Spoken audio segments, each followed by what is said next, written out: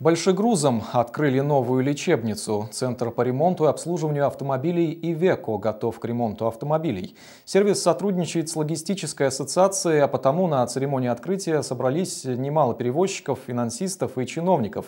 Всех, кто занят грузоперевозками и помогает сделать эту сферу бизнеса более комфортной. Чем так примечателен сервис и за что Айрату Зайнулину подарили грузовик «Ивеко», расскажет Катерина Карцева.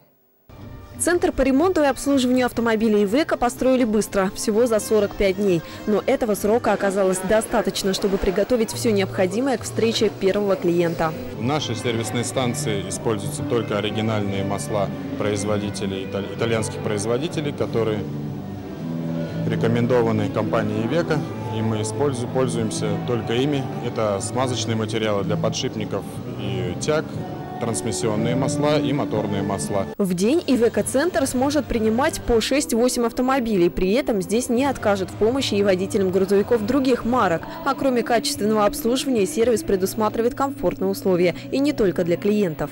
Комнаты отдыха для посетителей сегодня уже никого не удивишь. В сервисном центре ИВЭКа акцент сделан на комфорте рабочих. Мощная вытяжка, яркий свет и многое другое. Сотрудничество центра и Ассоциации международных автоперевозчиков дает ее членам приятные скидки. Тем тем более, что количество владельцев ИВЭКа в республике с каждым годом растет. В нашей ассоциации на 1 сентября 2011 э, года было 50 ИВЭК.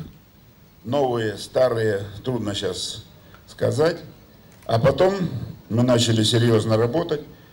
На сегодняшний день уже приобретено различными формами значит, 75 э, автомобилей. Думаю, до конца года они увеличатся. На церемонию открытия центра пришло немало друзей логистической ассоциации. Среди них и зам руководителя исполкома города. Айрат Зайнулин всегда в курсе, какие проблемы есть у перевозчиков и старается им помочь. За это сегодня он и получил в подарок грузовик. Разрешите мне